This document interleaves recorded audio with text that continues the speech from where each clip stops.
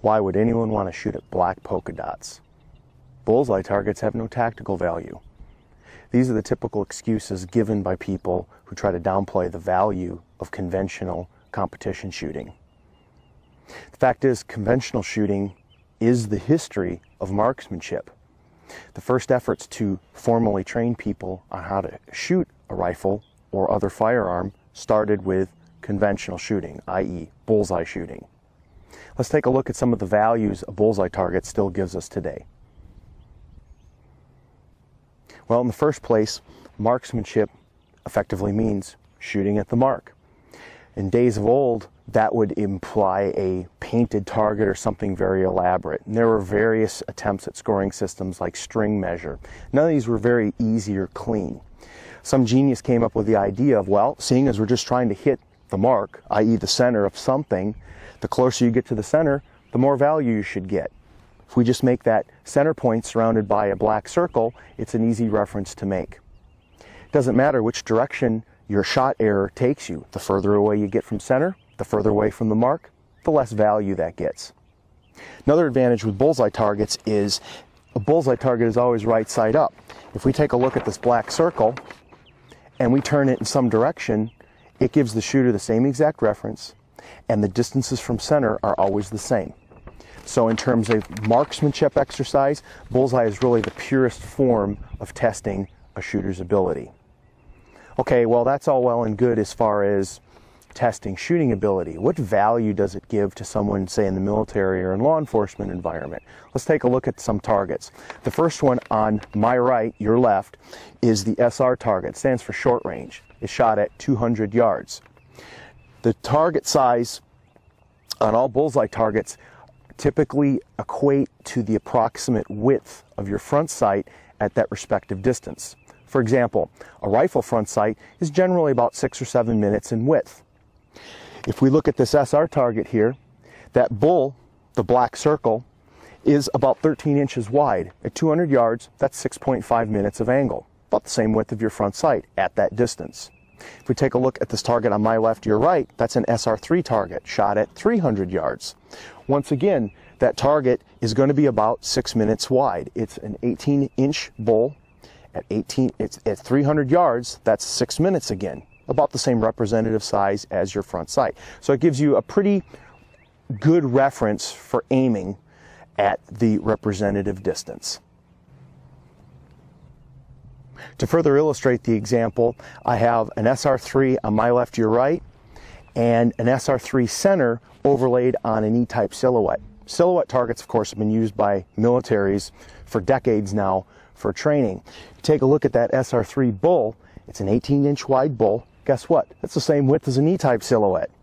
So if you're capable of shooting expert rifle scores in a military context, you should have no problem holding the black on an SR3 target. It's the same distance, 300 yards or 300 meters.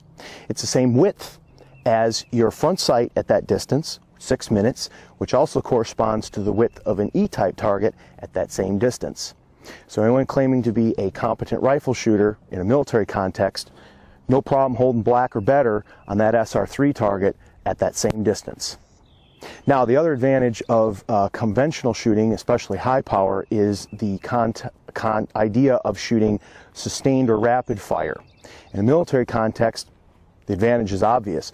You want to be able to shoot a series of shots accurately at some target at, at a distance.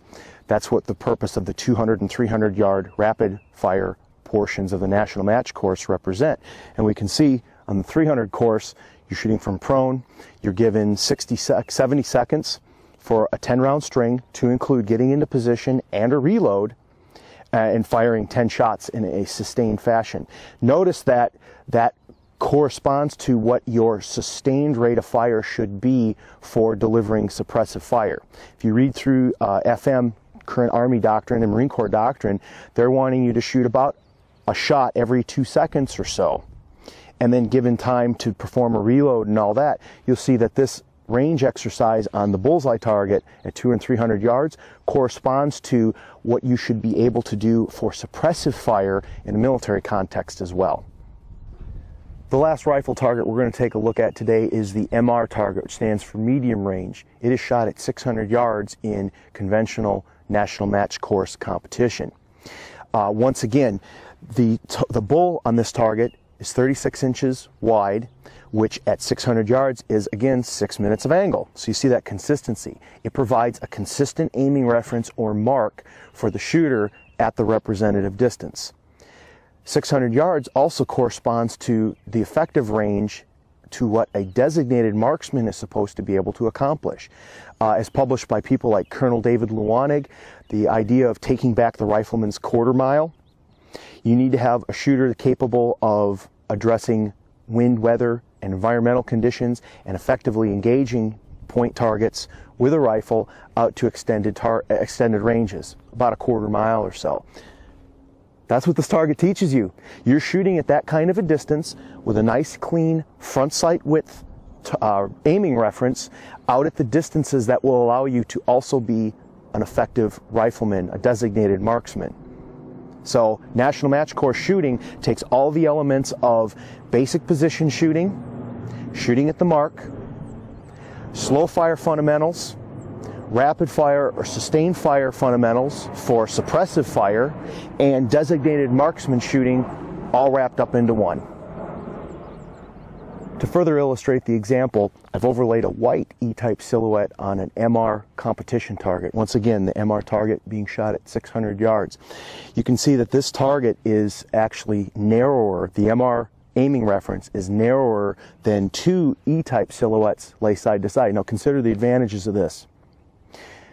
Double echo targets such as this are what's typically shot on a machine gun range, uh, out to 400 to 800 meters. That's with a machine gun, crew served weapon, shooting typically on that course of fire a seven round burst. In conventional competition, you're using an aiming reference six minutes wide, which is narrow, narrower than two double echo targets put side by side. So you're effectively getting some of the engagement distance a machine gunner is expected to get with a rifleman shooting slow fire single shots at that range. So not only is it teaching the rifleman to be a designated marksman and developing his or her capability of shooting at those extended ranges, you're having an aiming reference that also corresponds to what a machine gun or crew serve position would be at that representative distance. Anyone that can even hold the black at 600 yards on this MR target is going to be able to effectively engage a crew serve position out to that distance of 600 yards. Now consider this. All these targets I've showed you have scoring rings inside them. Any good high power shooter is going to tell you if all you're doing is holding black, you're not winning anything. You're going to be at the bottom of the running. You're expected to do much better than that. So it's pushing, it's helping the shooter push that envelope. You're not merely trying to get minute of barn door accuracy. That's your start point. That's your aiming reference. But what you're really trying to do is develop a level of accuracy beyond that. What can the rifle do? What can the shooter do? Now let's take a look at conventional pistol targets. Again, the concept is identical.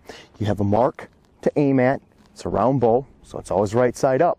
It has a series of concentric scoring rings as well. The only difference is we've scaled it to be representative of the firearm and the distances we're engaging. This is a B6 target, which is used for conventional pistol shooting at 50 yards for the slow fire phase. Now, let's look at some of the um, numbers there. Max effective range for handguns, 50 yards, 50 meters, give or take. 50 yard target. Hey, we're within the enlisted effective maximum range of a handgun still.